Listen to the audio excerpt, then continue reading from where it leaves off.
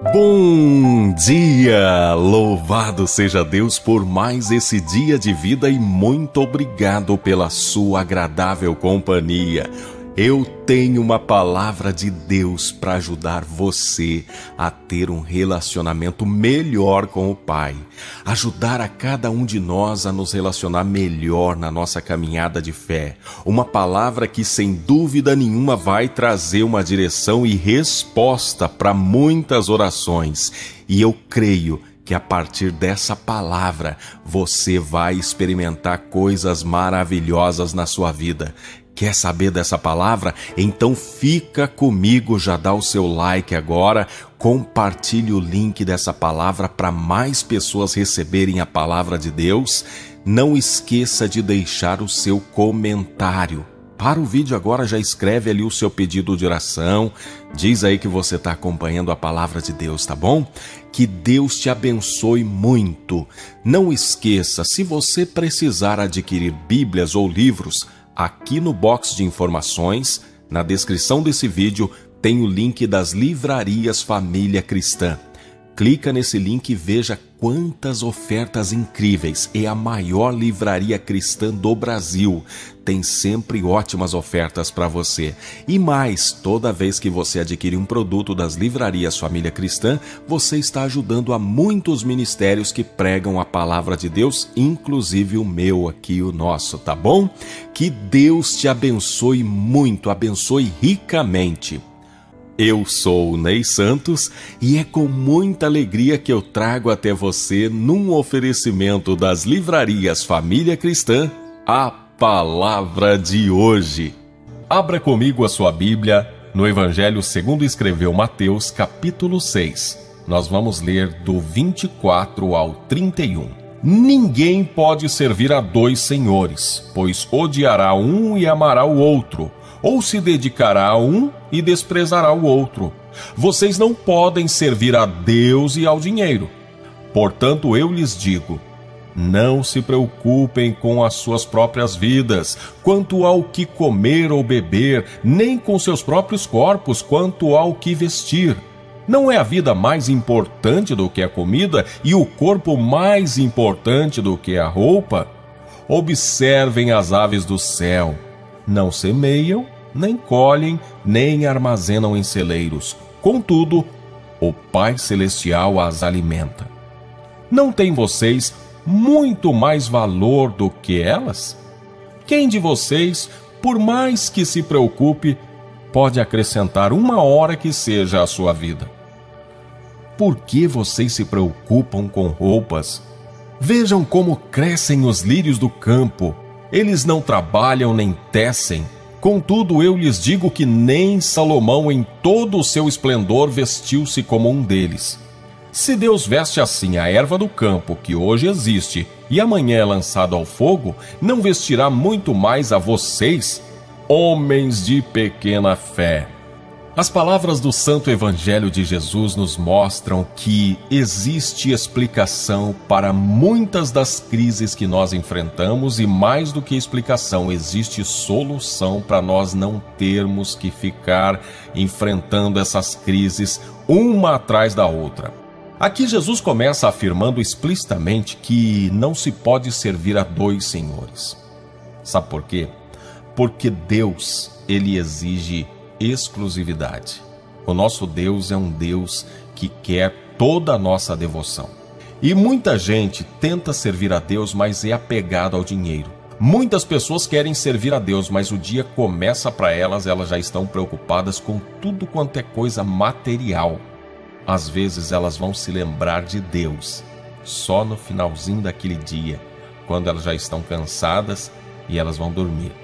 E na questão desses dois senhores, o Deus que nos ama, o Deus Pai Todo-Poderoso, ele nos dá liberdade. Todavia, o outro Deus, o Deus Mamon, o Deus Dinheiro, ele nos aprisiona, ele nos escraviza. Aqui Jesus explica qual é a causa do comportamento de muitas pessoas que são escravizadas pelo Deus Dinheiro, pelo Deus Mamon. Sabe qual é a causa desse comportamento? Ansiedade que gera preocupação. Eu disse preocupação separado porque esse é o verdadeiro sentido dessa palavra. A pessoa, ela fica preocupada com uma coisa que não aconteceu ainda, com a possibilidade dela ficar sem dinheiro, com a possibilidade dela precisar, com a possibilidade de acontecer algo que às vezes nem vai acontecer e ela é levada a essa situação por conta da sua ansiedade. E Jesus finaliza dizendo qual é a grande causadora de tudo isso, dessa ansiedade, da preocupação e da pessoa se colocar debaixo da escravidão do dinheiro que exige que a pessoa trabalhe, que a pessoa gaste tempo, que a pessoa se envolva com um monte de ocupações para que o tenha e para que assim possa honrar os seus compromissos. Jesus vem dizer qual é a causadora de toda essa ansiedade, de toda essa preocupação e de toda essa escravidão. E sabe qual é a causadora? A pequenez da nossa fé. Uma das principais razões pelas quais muitas pessoas vivem atribuladas, vivem ocupadas, vivem escravizadas, vivem ansiosas, é porque a fé é minúscula. E uma das principais razões da pequenez dessa nossa fé é a falta de oração.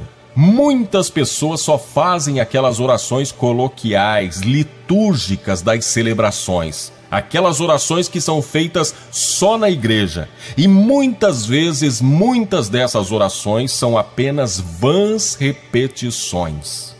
A pessoa faz aquela oração, talvez até com palavras bonitas, rebuscadas, mas não está sentindo nada. O coração está vazio. A boca está só repetindo palavras. E esse tipo de oração não tem poder algum. Nós somos desafiados a ter uma vida de oração chegar diante de Deus, separando um tempo, um lugar apropriado e conversar com Deus. Essa é a oração que tem poder para mudar histórias. E nós vamos orar aqui para que a gente possa ter esse momento especial com Deus. Mas antes da oração, eu quero indicar para você um vídeo que se chama Oração para a Cura da Ansiedade. É muito importante que você veja esse vídeo. Oração para a Cura da Ansiedade. O link vai ficar aqui na descrição. Basta você esperar o final desse vídeo, você vai clicar nele e vai ver essa oração para a cura da ansiedade.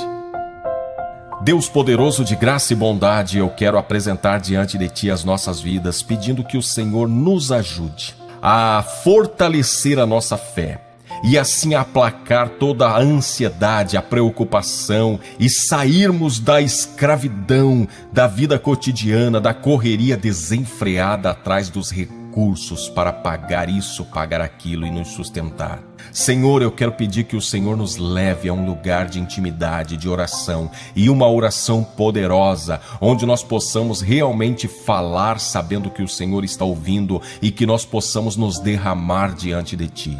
Senhor, ajuda-nos, ó Pai, a orar de verdade. Ajuda-nos a fazer orações que realmente possam mudar a nossa situação, que realmente possam causar efeito na nossa vida, transformação na nossa vida. Livra-nos Livra-nos, ó Pai, dessas orações que são apenas vãs repetições, palavras lançadas ao vento. Ajude-nos, ó Deus, é o que nós te pedimos em nome de Jesus.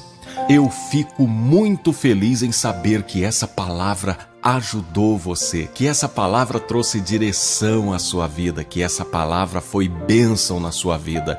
E eu quero muito que essa palavra se espalhe e você pode me ajudar agora por favor, mande nos grupos de Facebook, de WhatsApp, compartilhe essa palavra com as pessoas que você tem aí nos seus contatos. Não esqueça de dar o seu joinha e deixar o seu comentário. Pode inclusive deixar pedidos de oração aqui nos comentários, que eu vou estar orando por você e pela sua família. E se você tem tempo para ver mais um vídeo, Tá aqui a indicação de um vídeo que também pode edificar a sua fé, pode edificar a sua vida. Se você tiver mais um tempinho, clica aqui e assista esse vídeo. E eu peço que Deus opere milagres na sua vida hoje, em nome de Jesus. Eu sou o Ney Santos, esse é o canal Jesus Me Defenda.